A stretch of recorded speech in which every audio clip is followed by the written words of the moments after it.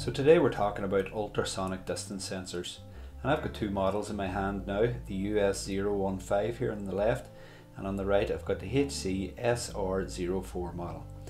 Now they're quite easy to buy and I've put some links in the description as to where you can buy them. The difference between the models really is small, sometimes it can vary between the distances that they're capable of detecting but typically you're looking at from about 4 centimeters up to several meters.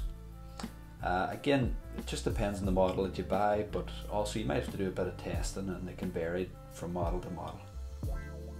Effectively what they are is a speaker and a microphone. And one sends out a sound and the other waits for the bounce back from that sound. And they can measure the distance directly in front. Okay so any object that comes in front of them it can measure the distance to that object.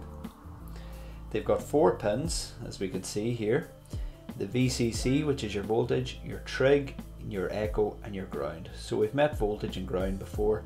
Trig and echo are the sending and the receiving of data through the speaker and microphone that we have here.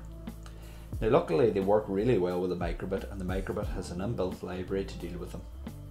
So let's look in detail about how they do work.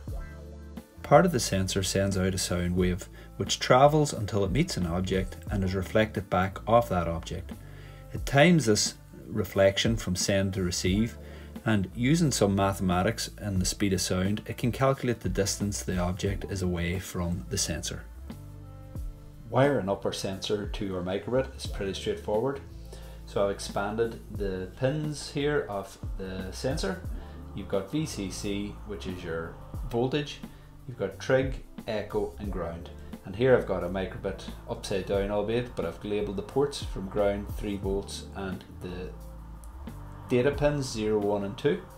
So we're going to take our echo pin to one of the data pins.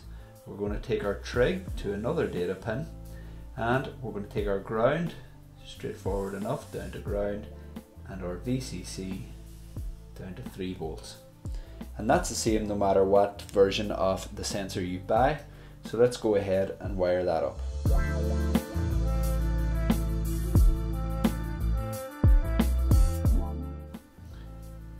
So now we've got it wired up and it's time to try some software. From a coding perspective, Microbit makes things really easy. So you'll notice that I've got a sonar menu here and that's what we're going to use. But how did I get that menu? Well, Microbit offers extensions. So I can click on extensions here I can do a search for the particular extension I'm looking for, but I know Sonar is a popular one, so if I just scroll down, you can see it there on the left hand side, Sonar, and all I have to do to use this package is click on it. It installs the package and you'll have Sonar added to your menu on the left hand side. Now Sonar is a very simple menu because it's only got one code block, so if I take this out, I set my ping trig to the pin that I'm using and as you've seen that's pin 0. My echo is coming back into pin 1 and what unit do I want to use to measure? Well I'm going to use centimeters. So this is going to return a number that it's reading from the sensor. So what I want to do is I want to put that number into a variable. So I've created a variable called distance and I'm simply going to put that into forever and put our information into the distance. So to start with, a most basic example is simply to show that distance on the screen.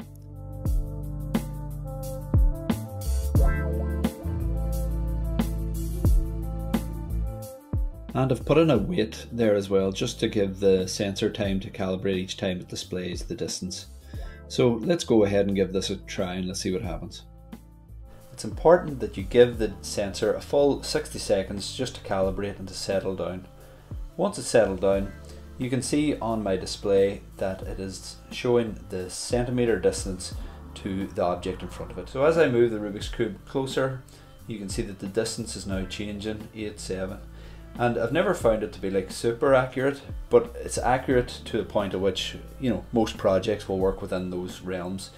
Um, and you can always adjust your coding to adapt to it. So that's that wouldn't be quite four centimeters close there but it's accurate enough for the purposes of most of our projects. So I'm going to make a slight change just to make things a little bit more interesting. Rather than just showing the distance, let's set it up nearly like an alarm in that once we go within a certain defined distance that it triggers something on the microbit. Now, you could make it more complicated. You could add an LED light that comes on within a certain distance and so on and so forth. But for now, if you just get the basic idea of using some logic, uh, you can go ahead and make more complicated projects.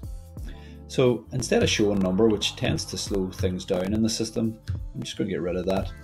I'm going to use a bit of logic, use my if statement.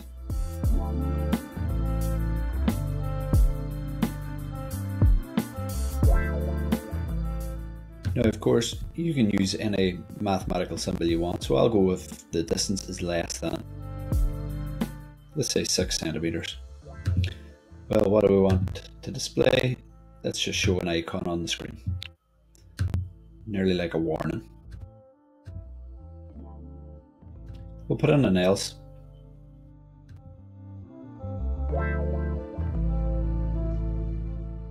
So this way, if the distance is under 6 centimeters, it should show the X, and once the distance goes above 6 centimeters again, it'll clear the screen. Let's go ahead and try this out.